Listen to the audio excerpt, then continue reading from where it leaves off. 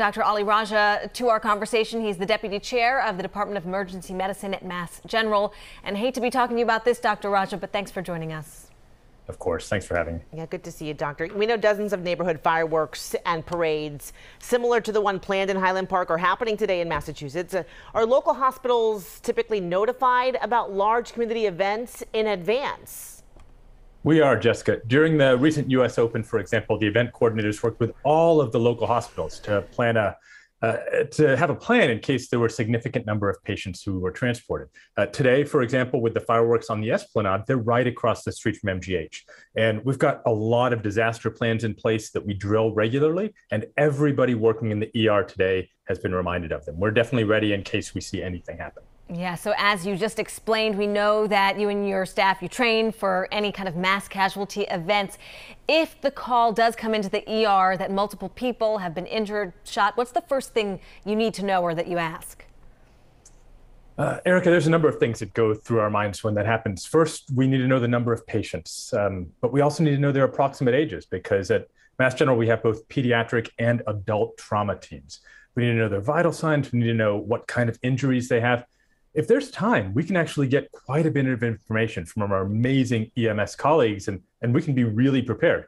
Sometimes we just don't have time for much of a heads up. Either way, though, we're always ready.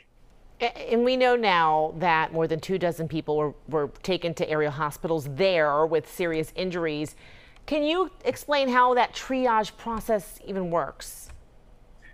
Of course, Jessica. Uh, each state has its own protocols for multiple casualty incidents. I don't know how Illinois works, but here in Massachusetts, we use a four color triage system uh, red, yellow, green, and, and black. Um, red patients are those who are severely injured and need immediate care and transport, and we focus on them first and then work our way down through the groups as we get more resources and more medical personnel to the scene.